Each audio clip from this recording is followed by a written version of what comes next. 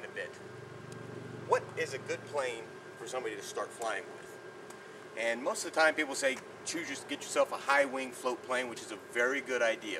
If you're serious about getting into RC airplanes and you want something that's going to be reliable, something that's strong and durable, and you're going to be able to get that thing in the air, learn how to fly, be comfortable, and and yet at the same time, it won't get boring after a short period of time. You're going to want something that you can evolve with, something that as you progress and you start getting the handle of the airplane, you're going to want something that can fly really nice as well. So, so let's go inside and we'll get to building on it and we'll see in a little bit.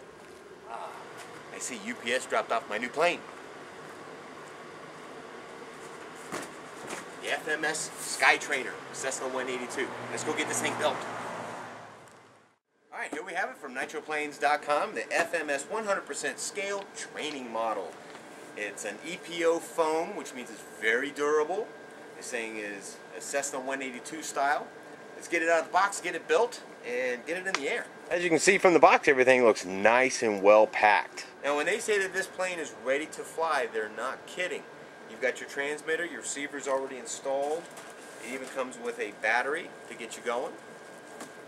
Include the battery charger and your alligator clip uh, power plugs for it.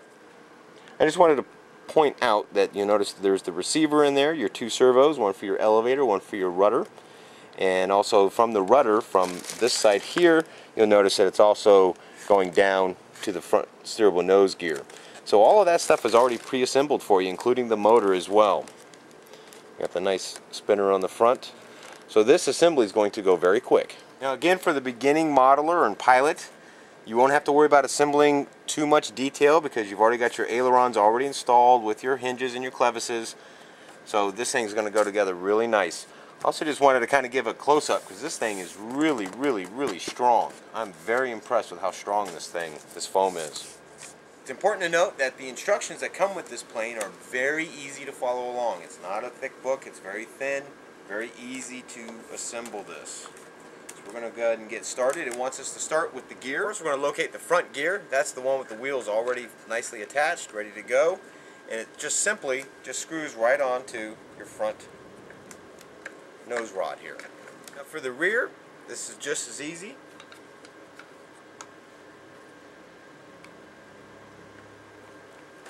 Now, on this one, the wheel isn't attached because this rod is going to go through through the wheel and then screw onto the other side. So it's very simple. Just a line and a line and tighten it down. And there we have it. Now we can flip it back over and start working on the top. Now in step two, they actually want you to cut the tail here open so that we can slide your elevator and horizontals in place. So where I'm cutting, I'm actually cutting right here where the two parts of the sticker are separated. I'm kind of cutting at a small angle just so that I can, that's the thinnest area. Okay, both sides are cut and it just lifts straight up like so.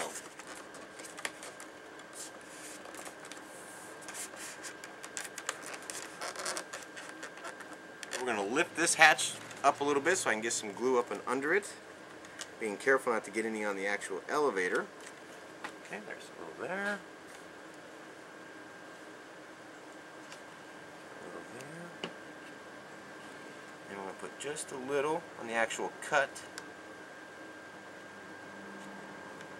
Okay, I'm ready to go ahead and put my vertical fin on and before I put any glue in here, make sure you test fit it first because it can be a little tight at first. And if you've already got the glue in there, the glue will actually, even without the accelerator, will start to stick and make it very difficult to get in and out. So I'm actually just kind of doing a test fit to see just how strong I need to push, if there's any problems. And as you can see, she actually goes very nicely right in there. So now I'm ready to go ahead and apply the glue. Next stage that we're going to work on is go and get the wings attached. Take either side of the wing, it doesn't matter and you should find a long carbon fiber tube. Want to just slide that inside the wing. I'm going to take the other one. We're going to do the same thing. Put that slid all. You will find two wires with pins just line up the black wire to the black wire and attach. You'll be fine. Okay, I've aligned the two front little tabs into the holes here. Slide these down. Kind of fits in there nice and tight. Okay, and then we're going to take two of the screws. This is going to actually bolt the wing down to the main fuselage. Down.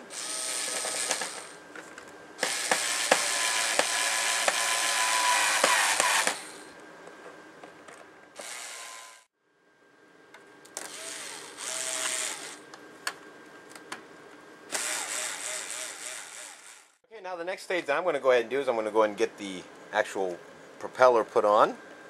First we want to take this little collet off.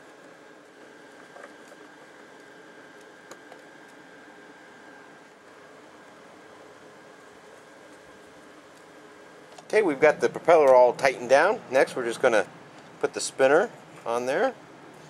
I got her all nice and lined up. Tighten this down. And we're almost done.